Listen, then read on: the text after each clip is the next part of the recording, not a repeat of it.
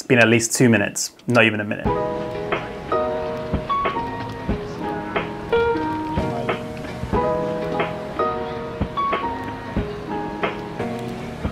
What can I say? It's been, what, a year? Wow. I haven't been away from YouTube. I watch a lot of YouTube, but I've been away from the channel and I've been away from you guys. So let's jump back where we left off. Hey guys, what is going on? This is Leo back here for yet another video. I know it's been a while and I apologize for that, but we have a cool video today and I think it's gonna help some of you budget friendly solution people again because that's what this channel is about. So as you guys know, we built this channel on budget-friendly solutions for street photography and filmmaking. And today is gonna be another one of those videos. And as I've seen, one of my most popular videos on my channel is the street photography camera series that you've never heard of, which we're now gonna change into a new series called The Cheapest. So episode one, The Cheapest, was about the Panasonic GM1, which was awesome, success, and everyone loved it. Hopefully everyone loved it. Loads of people liked it. And today is gonna be episode two about the mystery camera. But before we talk about the camera and what it is, we're gonna go straight to central London where I spent last weekend taking photos with this camera. And I had another camera in my bag. I had my X100V, but I didn't even want to use it because I enjoyed using this camera so much. It's such a fun camera to use. So if you're interested to know what it is, stick around, check it out, and we'll talk about it a bit more later on. So without further ado, let's uh, jump straight into the weekend trip in London.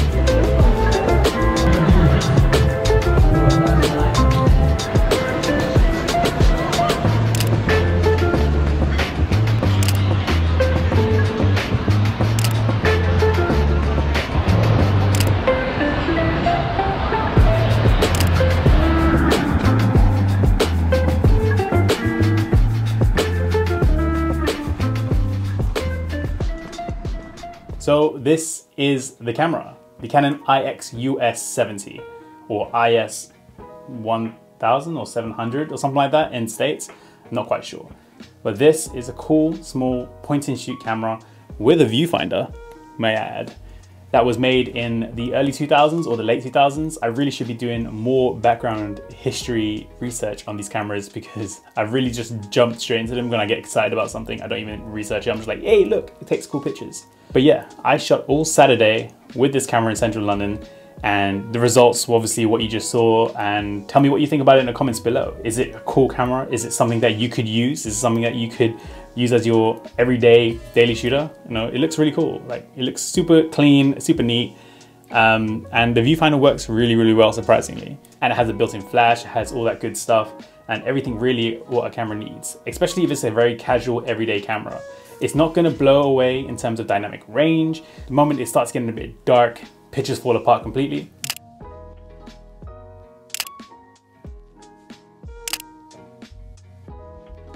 I would say this is for the everyday walkabout. If you're going around town, around central, or on holiday and the lighting's good.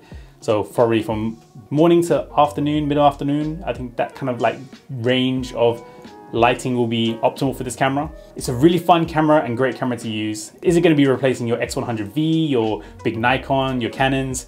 Most likely not, because this hasn't got everything that you need. But if it's gonna replace your smartphone, because let's be real, smartphone cameras are getting a lot better and the quality is getting great.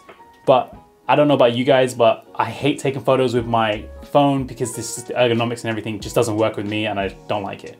Having a dedicated camera for that use always works, especially one this size. Like it literally hides behind my hand. You can't even see it. And it can fit into any pocket. And it has a three times optical zoom, which is always a bonus. So yeah, tell me what you guys think in the comments below. Um, is this camera something that you're interested in picking up? Um, I got this particular camera for like 25 pounds and it was, personally, I think it's been a great purchase. I lasted the whole day on one battery and literally I have half a battery left, so it beats the GM1 in that sense. But yeah, really fun to use, really awesome little camera. Let me know if you're gonna pick it up. And if you do, let me know in the comments below. Tell me where to find you guys with your ads and I'll go and check out the photos or tag me on Instagram and show me the results that you get. That's been the Canon IXUS 70.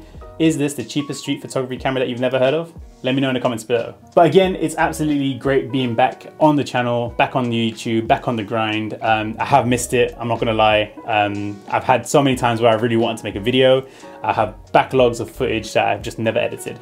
But today, now we're gonna put this out and we're gonna be consistent going forward. Bring some great content your way and let's get this community strong and back together and start sharing photos of everyone. I think that's the great part of this journey. Everyone kind of just getting to know each other and sharing their photography journey. For those that are in London, I host a street photography meet.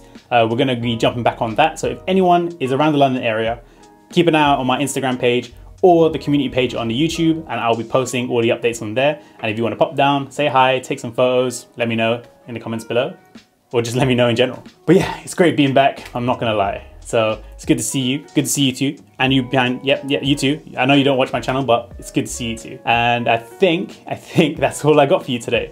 So if you enjoyed this video, don't forget to give it a like, subscribe, share it to whoever you think may find it useful. And because it's a cheap camera video, probably a lot of people will find that really helpful. oh yeah, hit that notification bell because it's the coolest thing to do. It's been a year, but yeah, hit that notification bell because it is the coolest thing to do. As always, and a long time coming, keep creating, keep doing what you love, and I'll see you in the next video. Peace. I'm gonna sign out with my phone. Bye.